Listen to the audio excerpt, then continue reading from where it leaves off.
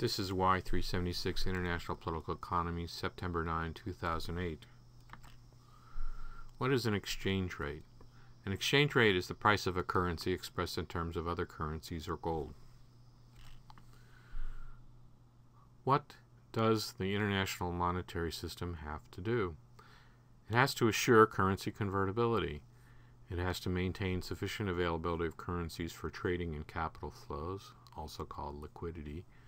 It has to maximize stability of exchange rates given change in demand and supply, and it has to allow balance of, balances of payments to equilibrate over time via changes in exchange rates.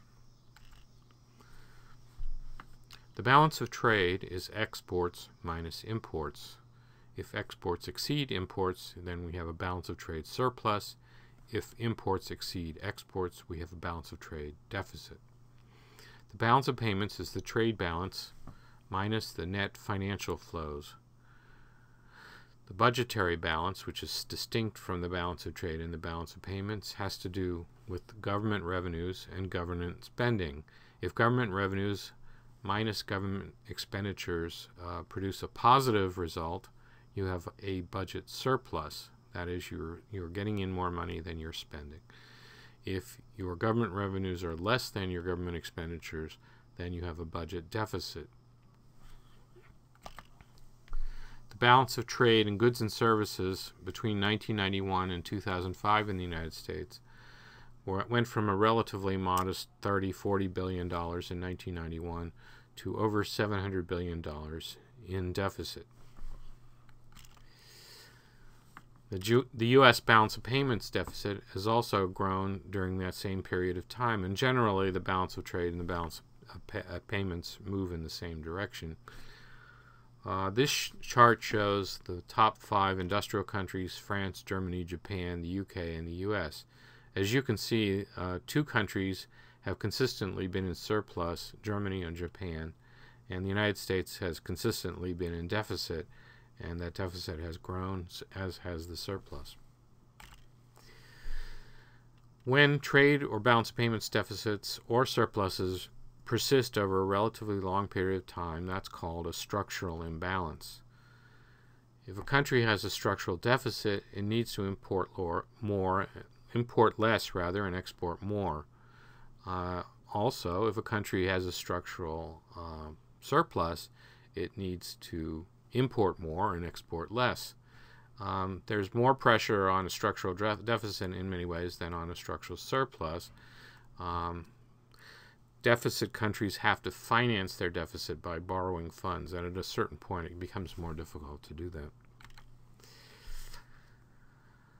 The United States, uh, the dollar is a key currency. Key currency is used in international trade, settlement, or as a reference currency in settling exchange rates, setting exchange rates, sorry. The current key currency is the US dollar. Central banks tend to hold this currency in their reserves in case of emergencies. The dollar has been the primary uh, currency held in other countries' uh, foreign currency holdings.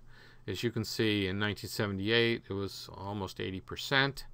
Uh, it's declined somewhat over the past two decades. And uh, in 2007, it actually went up a little. Um, the U.S. dollar declines relative to the Deutschmark and the yen through the 1990s, and then the euro basically became the key alternative to the dollar uh, after 2001. Uh, key currency country does not have to worry as much as others about dealing with structural deficits. Uh, its currency is needed for settling international transactions and need, needed to be held outside the country in the form of uh, reserve deposits. A key, key currency country is often criticized for exporting its inflation to other countries by keeping domestic demand high um, during a period of structural deficits uh, and uh, generally it can increase its money supply with having without having to worry as much about generating inflationary pressures. Um, the structural surplus countries, Germany and Japan, uh, were basically uh, stubborn about upwardly revaluing their currencies uh, under the original Bretton Woods system. Uh, and uh, they did this because uh, they saw a benefit from continuing to export it at high rates uh, because their growth had become dependent on their export performance.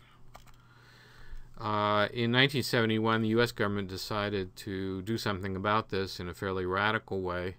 Uh, in August 1971, it was reported that the U.S. had a small deficit, which was the first uh, reported deficit for many years. Uh, President Nixon and his Treasury Secretary John Connally agreed to uh, release the dollar from being tied to gold at $35 per ounce, uh, to impose an import surcharge of 10% on all imports, and to withdraw that surcharge only if surplus countries, which of course meant Germany and Japan, agreed to revalue their currencies.